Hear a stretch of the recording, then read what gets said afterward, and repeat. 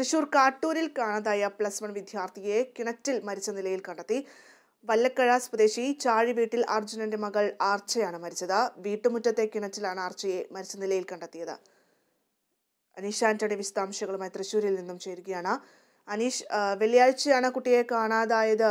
അതിനുശേഷം ഇന്നിപ്പോൾ കുട്ടിയുടെ മൃതദേഹവും കണ്ടെത്തിയിട്ടുണ്ട്. എന്താണ് മരണത്തിന് പിന്നിൽ എന്ന് അറിയാൻ സാധിക്കുന്നുണ്ടോ?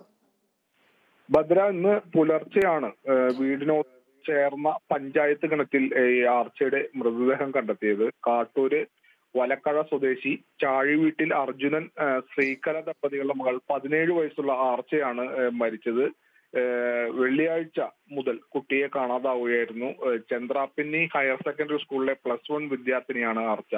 കുട്ടിയെ കാണാതായതിനെ തുടർന്ന് വീട്ടുകാർ കഴിഞ്ഞ ദിവസം കാട്ടൂർ പോലീസിൽ പരാതി നൽകി കുട്ടിക്കായിട്ടുള്ള അന്വേഷണം നടന്നു വരികയായിരുന്നു. ഇതിനിടെയാണ് ഇന്ന് രാവിലെ വീട്ടിനോട് ചേർന്നുള്ള കിണറ്റിൽ ആർച്ചയുടെ മൃതദേഹം കണ്ടെത്തിയത്. കഴിഞ്ഞ ദിവസം കുട്ടിയെ ആലപ്പുഴയിൽ കണ്ടെത്തിയതായ ഒരു അഭ്യൂഹം പറഞ്ഞതിനെ തുടർന്ന് വീട്ടുകാർ കുട്ടിയെ അന്വേഷിച്ച് ആലപ്പുഴയിലടക്കം പോയിരുന്നു. തിരികെ ഇന്ന് എത്തി ഒന്നുകൂടി അന്വേഷിച്ചപ്പോഴാണ് വീടിന് ചേർന്നുള്ള പഞ്ചായത്ത് കിണറ്റിൽ കുട്ടിയുടെ മൃതദേഹം കണ്ടെത്തിയത്.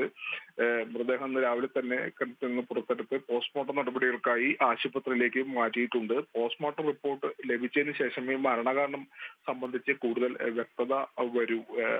ഭദ്ര. ശരി അനീഷാണ് വിശദാംശങ്ങൾ നൽകിയത്. തൃശൂർ കാട്ടൂരിലാണ് കാണാതായ പ്ലസ് വൺ വിദ്യാർത്ഥിയുടെ മൃതദേഹം കണ്ടെടുത്തിരിക്കുന്നത്. വീടിനോട് ചേർന്ന പഞ്ചായത്ത് കിണറ്റിലാണ് കുട്ടിയുടെ മൃതദേഹം ഉണ്ടായിരുന്നത്. വല്ലക്കഴ സ്വദേശി ചാഴി വീട്ടിൽ അർജുനന്റെ മകൾ ആർച്ചയാണ് മരിച്ചത്. വെള്ളിയാഴ്ചയാണ് കുട്ടിയെ കാണാതായത്. തുടർന്ന് പോലീസിൽ പരാതി നൽകിയിരുന്നു. ഇതിന്റെ അന്വേഷണം പുരോഗമിക്കുന്നതിനിടയിലാണ് ഇന്ന് പുലർച്ചെ കുട്ടിയുടെ മൃതദേഹം കണ്ടെത്തിയത്.